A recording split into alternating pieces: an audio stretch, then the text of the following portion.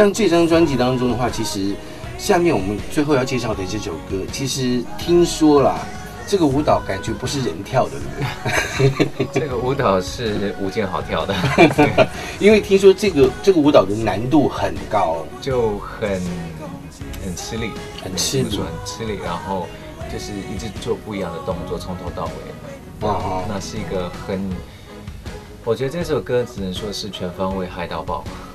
对啊，因为这首歌的话，他给诶找他找了这个一个编舞的编舞老师很有很老师，很有名的老师 Lyle Benega。啊哈，Lyle 呃是帮 JYP 帮呃 Big Bang YG 嗯嗯还有帮亚瑟小子嗯呃排舞编舞这些等等的都有。是，所以听说动作很多，然后节奏很强是啊哈。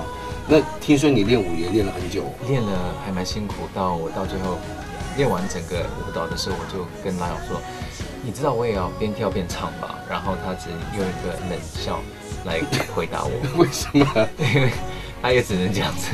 哎、可是现在好像很很讲究，那像大陆那边听说就是不准对嘴嘛，对不对？嗯那像这首歌的话，如果你要边唱边跳，这个肺活量怎么办？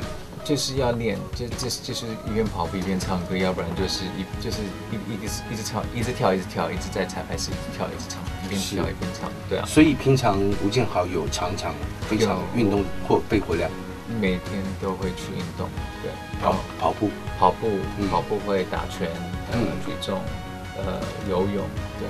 那我就试着可以在唱歌的地方就一边唱一边运动，嗯嗯嗯，游泳呢就比较困难一点。是。对